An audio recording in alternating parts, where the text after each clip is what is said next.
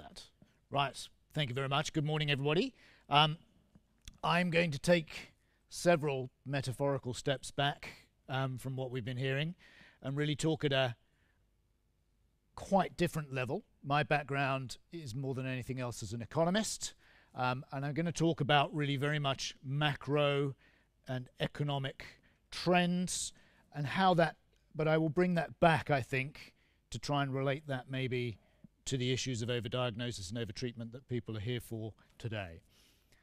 Um, I'm I'm now uh, based in Tasmania, the most beautiful island in the world, um, and I'd just like to acknowledge um, the uh, Muwinina people of the Pal- Palawa Lutruwita Tasmania nations as the traditional owners of the lands where I conduct my work. So, about three or four hundred years ago, something extraordinary happened. For most of human history, the economy, such as it was, we didn't really think of it as an economy, um, was stable. Nothing much changed. Standards of living didn't change. You would do what your father or your mother did before you, and life went on as it had. And then, primarily, because people started digging up coal, there was a remarkable transformation. And everything changed. Look down in that corner. I don't know, can I get the angle on that? Down there, somewhere in the 1700s, economic growth became exponential and everything changed. And about a hundred years later, everything changed in human health.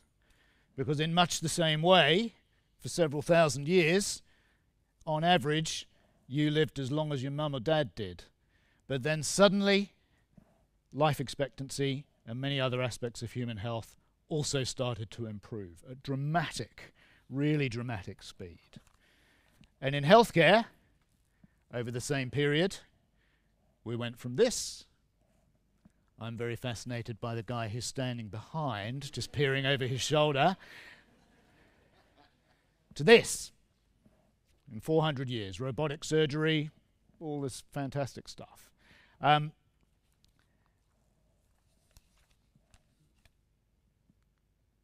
and yet, here we are today in 2023, um, and things maybe are not looking quite so rosy. And we have to now ask ourselves does the arc of history still bend towards progress? but we are just facing a few local difficulties? Or are we actually entering what some have called the age of consequences?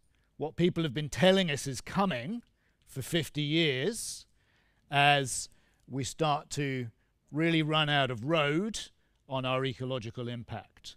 Um, and this is really what I'm going to talk to you about today. I'm going to talk about economic growth, I'm going to talk about consumption, and overconsumption. And I'm going to try and sketch out a little bit about what that might mean for healthcare and perhaps the future of healthcare. I'm going to start, though, by very briefly telling you um, how conventional economists, neoclassical economists, we have lots of names for different kinds of economists, neoclassical economics, which is the dominant way of thinking about economics. It's been the dominant form of economics for maybe 150 years. Neoclassical economics thinks of the economy. The world, society, humanity is the economy, and everything else is a subset of the economy. So, to neoclassical economics, the natural world is a sector of the economy. It's got a name, it's called the natural resources sector. So, everything that we take out of the earth, everything that we dump back in to the natural environment. In neoclassical economics, that's just a sector of the economy, like everything else, to be used, extracted, to be managed well, certainly, but it's there to serve the economy. In the 70s, a number of economists started questioning that sort of orthodoxy. um, and what has now become a discipline called ecological economics, not to be confused with environmental economics. That's different. The ecological economists started to think about this quite differently, and they made what is perhaps the, the obvious common sense point that, hey, look, it's the other way round. We live on this finite planet, so therefore, whatever the economy is, it's actually just a sector of the ecosystem. And they started from that premise and said, well, what then does that make us need to do differently as we think about economics? Um, but they also made the observation, which is particularly important, that if we think about growth, that incredible exponential economic growth I showed you, in the beginning, growth didn't really matter that much. Even in the beginning of the Industrial Revolution, when we were spewing out soot in the horrific slums of the Industrial Revolution, the scale of the economy was not yet big enough to really materially impact on the natural environment.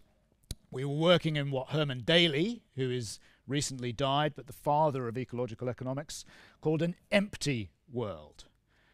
But the problem with growth, and especially exponential growth, was that slowly at first, and then faster, in the words of Hemingway, and then all at once, um, the economy started to fill up that natural world. And now we're in a full world where our impacts are pervasive, they're everywhere. You know all the stories, you know how they find plastics and prescription pharmaceuticals in penguins in Antarctica. Um, I think, in some ways, the most powerful one is this that if we think of all the mammals on the earth today, 36% of them biomass of mammals is us, humans. 60% is our domestic livestock. Only 4% of the biomass of all mammals alive today are wild mammals. So we have created this full world, and perhaps how we would represent that now, many of you will have seen this, is the, the planetary boundaries framework, which shows us on a number of different um, ecological impacts how we are exceeding the safe uh, operating limits or safe carrying capacity as far as we understand it, of the planet. But this problem is um, deeply inequitably distributed.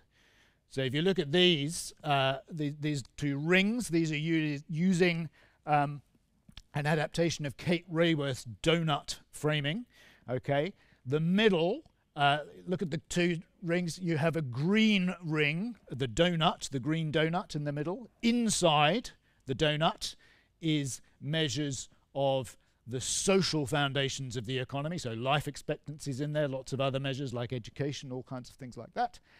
The outer ring of the green donut is the ecological ceiling, the safe boundary ecologically. So in my country, Australia, we are way over the ecological safe operating space in all but one of those categories. But we do have fantastic um, measures of social de development. On the right hand side, we've got Sri Lanka, very far from being the poorest country in the world, a long way from being the poorest country in the world. Yet they um, are not transgressing any of their planetary boundaries, but nor are they meeting the basic needs of their population. So we have this terrible um, dilemma at the moment, which we're grappling with, which is at the center of what I'll be talking about, of is it possible and how can we meet the basic needs of all humans without transgressing those ecological planetary boundaries. And that will require us to think quite differently about economics on what economics does. So neoclassical economics is pretty simple. It sees its mission as the study of the allocation of scarce resources among unlimited wants. That's the textbook definition we teach a new undergraduate. Um, it's all about the efficient allocation of resources. But there are quite powerful voices now saying that's not enough, that's not necessarily even the right focus. So, particularly feminist economists have turned that around and said no, the economy actually must serve society, and therefore economics needs to be about the study of our social provisioning systems, the systems that give us life as a society. And ecological economists take that a step further and say economics is not just about efficiency, even though it does have to be about efficiency. We never want to use resources inefficiently, but it's also about what is the sustainable scale of the economy, how big can our economy safely be, and about the fair distribution of those resources within and between countries and between those who have caused the ecological crisis we find ourselves and those who have not benefited yet from the economic growth that drove that crisis. And a key concept, which I think is really central to where this work links with um, issues of overdiagnosis, overtreatment, etc., is Herman Daly's concept of uneconomic growth. We understand what economic growth is. It's the economy getting bigger every year. Okay. Daly's insight, though, was that um, in economics, if there's a real law in economics, it's the law of diminishing marginal returns. So the more and more you get of something, the less and less value or utility each extra unit, in fact, brings you. Um, and as the economy has grown over the years, the utility, the marginal utility of each extra unit of growth has gone down and down. The additional value that each unit of growth brings to society gets less. And with it, as the economy grows, there is also marginal disutility, bad things. Obviously, pollution, but also all kinds of other negative impacts which have come with growth. And Daly's insight was that there's a point where the marginal utility, the extra benefit of growth, equals the marginal disutility, the marginal harm of growth. And once we've reached that point, growth is no longer economic, it's now uneconomic. We're still making the economy bigger and bigger every year, but we're actually literally causing more harm than good after that point. And that's been a key insight which is now driving big debates about really what is the future of the economy. Can or should growth actually continue? And I'll come back and talk very briefly about some of the risks of not continuing growth. Um, can we have green growth? Could we still continue to grow the the value and the benefits of the economy, but in a green and sustainable way. Is that actually going to be possible? Um, many people are beginning to question whether just going green and making everything renewable, etc., either is actually feasible, but also can achieve the full level of reduction in ecological harms that we need to achieve to get out of the mess. So others are talking about post growth models of the economy, models in which the economy no longer grows or even may need to degrow. And degrowth in particular is something that uh, in Europe now is a really quite significant movement. And in the background, whatever we might like to do is the spectre of um, what is at risk if we fail to resolve these problems, um, which is do we actually risk what some have called more politely involuntary degrowth, or a bit more brutally, collapse? And in a collapse situation, believe me, the last thing we're going to be worrying about is overdiagnosis and overtreatment. So we really want to avoid that kind of a situation. So, who's this bloke who's running out of time, and um, what has this got to do with healthcare? Well, let me try and answer that qu- quite quickly. So, even though we've come to this, perhaps we're approaching some crisis point of economic growth. In fact, even though all our politicians talk about growth all the time, the truth is the rate of growth has declined every decade that probably almost everybody in this room has been alive. Growth has got slower and slower globally and particularly in the high income countries. Yet, our spending on healthcare has consumed a bigger and bigger proportion of the economy over that time. Those of you from the States understand this, now tracking towards 19% of GDP. But even in other high income countries, steady, steady growth, so typically around 10% of GDP now go, uh, is healthcare expenditure. Um, and we've actually understood in healthcare for many years that it's possible, indeed likely, that healthcare, like everything else, has diminishing marginal returns. This is Donabedian's work from 1980 where he was setting out this framework suggesting that after a certain point, extra healthcare is likely to add less and less and eventually negative benefit. So, some of the things I'm working on is really trying to say how does this bigger picture of overconsumption and uneconomic growth drive through to health and healthcare? So, one of the frameworks that I've developed and that we're trying to work with is this one, looking at concept of overconsumption and what's called failure demand.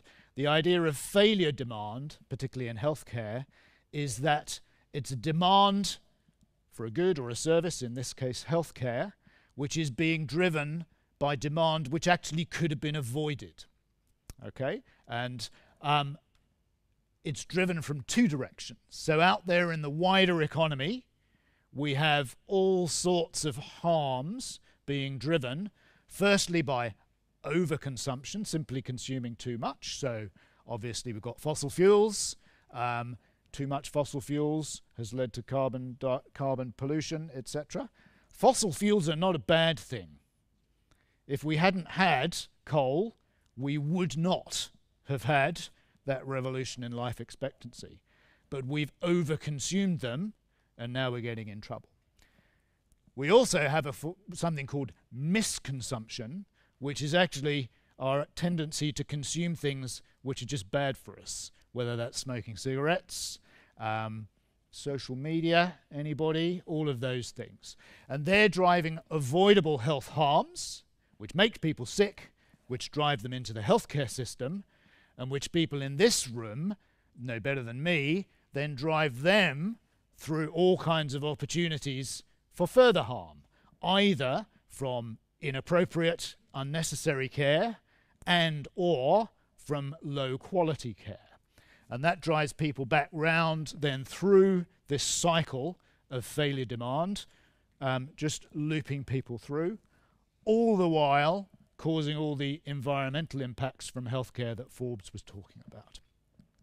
So we can think about how we might uh, drive some of these things down by acting on these social determinants of health, acting on um, primary prevention, chronic disease management, all of these things to minimize avoidable demand for healthcare, whilst at the same time we minimize the production emissions and production pollution of our healthcare system.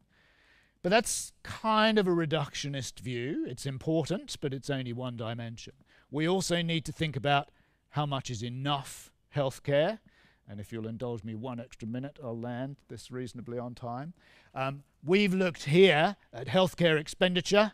Uh, each of those dots is a country um, against total healthcare expenditure per capita, against health adjusted life expectancy on the left, and mortality amenable to healthcare on the right. And we've looked at what's the pattern we're seeing here. And very simply, oops, sorry, wrong button. If we look at health adjusted life expectancy, and we see the same thing in reverse, more health adjusted life expectancy is good, less amenable mortality is good. Um, the poorest countries, as you spend more on healthcare, you get massive increases. It's associated with massive increases in health adjusted life expectancy, reducing mortality, etc. Then, after some point, at a really quite low level of health ex- healthcare expenditure, around four or five hundred dollars per capita, that additional benefit starts to slow. We're in a posi- in a zone of diminishing marginal returns. We're still getting additional health benefit, but it's slowing down. And then somewhere, and you know, don't take this too literally, but somewhere up here, which is in the kind of healthcare expenditure levels we see in when we these data are from in southern European countries, we get to a level beyond which additional healthcare certainly isn't getting you more benefit and might actually be let's not say causing harm, but associated with lower overall benefits. We see a similar kind of pattern. This is much ropier data, but this is about healthcare greenhouse gas emissions. And above a certain point, more greenhouse gas emissions is absolutely not associated with better health. So this all looks a bit to me like this uneconomic growth um, phenomenon, and healthcare uh, alas, I don't have solutions for you, but healthcare is actually a fantastic example of uneconomic growth, and that is one of the things that we're using it for. Um, and the challenge really becomes um, this. A huge number of people in the world, at least 2 billion people in the world, are a very long way from having anything like acceptable access to basic health care. So a huge population still needs much more healthcare than they need today. But many of the richest in the world probably are consuming too much. So, how then do we start to define the minimum necessary and maximum desirable levels of healthcare within countries and across countries? And how do we create both the ecological and the fiscal space to let us do that. And I'll stop there because I know I'm out of time, but perhaps I do did have a couple of not brilliant but possible ideas on some of the first steps that we might take. We can maybe talk about that in the panel.